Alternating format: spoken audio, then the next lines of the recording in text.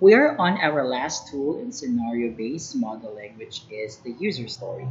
I know, class, that I keep on mentioning or repeating user stories in our past discussions, um, specifically in Agile practices, because this is essentially the work product for eliciting requirements or, um, of users in Agile practices or in Agile processes.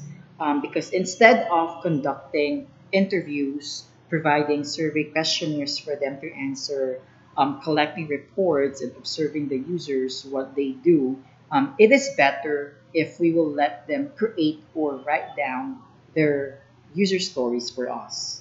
Although the UML tools mentioned earlier can still be written as, um, as a complement to user stories. When I say user story, a user story is a tool used in agile software development to capture a description of software feature from an end user perspective. A user story describes the type of user, what they want, and why. The user story helps to create a simplified description of a requirement. So this is actually the format, if you can see here uh, above um, type of the user, of course, what uh, as a role or a persona, actually that's the actor itself, uh, what they want or what should be the requirements needed for them, and why. So, what is the benefit if we will try to include um, their requirements to the system?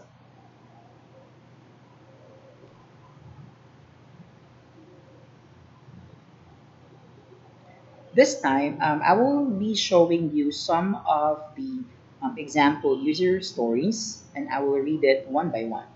For example, as a student, this is the actor, I should be able to view classes. View classes, this is a requirement. So I can choose from classes suitable to my schedule. Right? This is a good example. Number two, as a student, still, student's the actor, um, I should be able to select classes, still the same, select classes is the requirement that I would like to enroll um, uh, to enroll in so that my advisor will know the classes I will enroll in.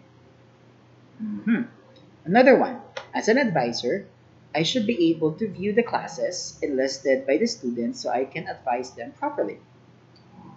As an advisor, I should be able to update the classes enlisted by the students based on my assessment.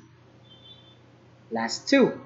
As a clerk, I should be able to encode the classes offered for the semester so that these can be viewed by students and advisors alike. And last example, as a student, I should be able to print the classes that I enrolled in as proof of my enrollment. Again, the format for creating a user story, there should be a persona or your role. Next, the requirement. And last one, it's the benefit. Um, eventually, um, each user story is elaborated to include acceptance criteria that can help that can help be used for validation and design. For example, for user story, as a student, I should be able to view classes so I can choose from classes suitable to my class or sorry, suitable to my schedule. So these are the acceptance criteria. Um, view classes based on the preferred course, of course. Um, show five classes per page, including details of each class. So that should be included in the acceptance criteria. Short um, sort classes by section, okay, for section A, section B, section C. Next, show classes that are full so that the student will not select that class and so that um, the student will not enroll. Diba? So if you can still remember the lesson in Scrum, the acceptance criteria will be used by product manager or the end user. So it's good if you also include um, the acceptance criteria.